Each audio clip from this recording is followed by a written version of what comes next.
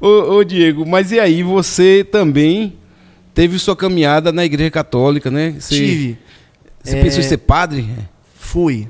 Fui não, não fui padre. Sim, fui- fez a caminhada. Fiz, fiz a caminhada. Você deve lembrar, meu, meus avós, né, meu avô Luiz e minha avó Letícia faleceu recente. Sim. Eles eram é, é, muito católicos, assim, demais, assim. Meu avô, tipo, tava na Santa Ceia, de, muito, assim, religioso. E minha família sempre foi muito religiosa. Então, assim, quando eu fiz 15 anos, me convidaram para fazer um encontro vocacional, que é uma espécie de... É um, um, um encontro onde levam jovens para um, o lugar que é o seminário. Você Sim. passa um final de semana de vivências com as pessoas ali. É, para você decidir se você quer viver aquela vida e etc e tal. Eu sempre tive muita vontade de sair de casa, assim, desde cedo, de ter, uma, ter a minha vida, de correr o mundo, assim. Hoje, é, 14, 15 anos depois, que eu já saí de lá, eu vejo que aquilo talvez foi uma, uma forma de um escape que eu dei pra pra mim mesmo, assim, de poder viver outro mundo, viver fora da Uma minha chance, casa, né, uma fora chance fora de, de casa. sair. Tá? Mas quando eu fui pra lá, eu gostei daquela vida ali, daquela aquela coisa ascética, Sim. de acordar cedo. Eu gostava daquilo ali, daquela, Sim. aquela- de- era um mundo diferente do meu, sabe? E é um mundo diferente mesmo, cara. E, e- Viver aquilo ali é, é muito diferente de tudo que eu imaginava, sabe? E pra mim é- era uma linha muito tênue entre ficar e sair, porque quando eu vinha de férias, eu voltava a tocar nas bandas. Tem noção?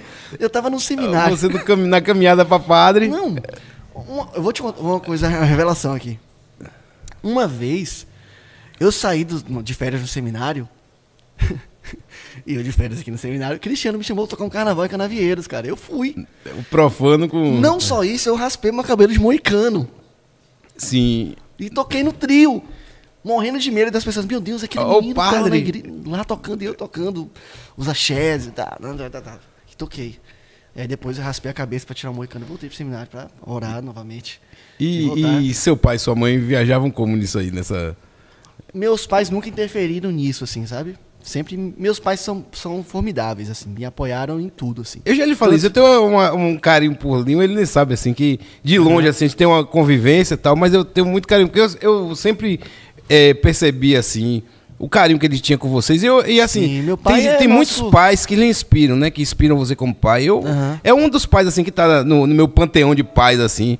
É, ele também tá, que eu sempre vi o carinho que ele tratava vocês. Não sei como era dentro de casa e tal, mas. Sempre foi assim, Mas é. o, que, que- o que mostra o externo ele pegando, levando, É. ah, sempre junto, né? Então. Ah, meu pai é. Meu pai é um paizão, assim, pra nós, sabe? É aquele cara que.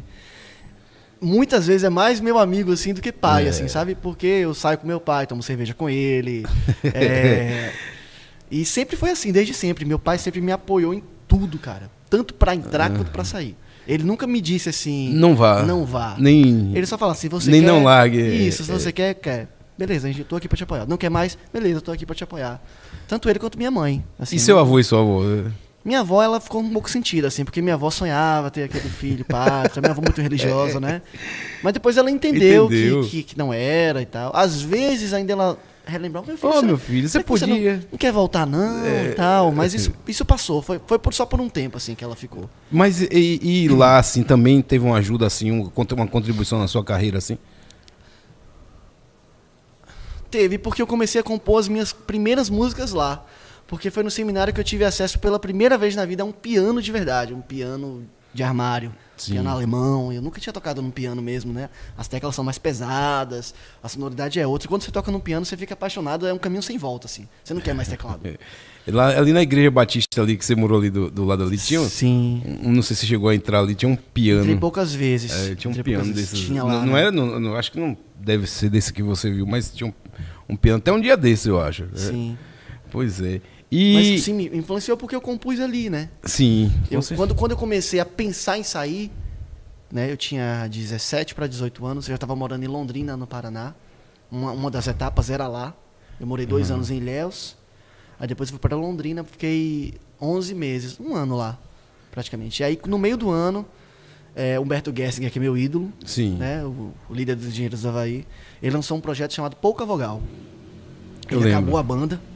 E a banda acabou mesmo, em 2007. E ele lançou um projeto chamado Pouca Vogal com um músico gaúcho chamado Duca Lendecker. E aí, quando eu descobri aquele projeto dele, eu ouvi as músicas, eu falei. Me tocou de forma tão profunda que eu falei: eu, eu não posso fazer outra coisa na minha vida senão ser músico. Eu não posso Sim. mais ficar aqui nesse mundo aqui. Não vai, eu vou ser uma pessoa frustrada. aí eu cheguei pro meu reitor, falei: olha, eu quero sair, quero ir embora para casa. Não, não faça isso. Calma, tenha paciência. Todo mundo passa por esses momentos. Você vai superar. Eu também já passei por isso. Tal. Fica mais um mês, fiquei mais um mês. Aí no outro mês eu fui. Tinham reuniões mensais, né? Com o reitor. Eu quero sair, eu continuo com vontade de sair. Calma, vamos ver tal. Respira. Foi, foi me oferecido muitas coisas, assim, sabe? Projetos de tipo. Você pode estudar música em Roma. Entendi. E isso me balançou muito, assim, porque, poxa, meus pais nunca teriam condições de me. Sim. Não pensou não ir para Roma e depois lá dar o Miguel? É, mas aí eu, eu, dentro de mim eu não ia conseguir dormir em paz. Você ia mentir assim, pro é. Papa, velho. Não, não é isso, assim, o, o, o, quem ia estar tá pagando pra mim era o dízimo das, daquela senhorinha que dá o dinheiro ali, suado. Sim. Pra igreja, tá, ia estar tá bancando uma, a minha mentira. Entendi. Aí eu não, eu não ia conseguir dormir em paz com isso, não.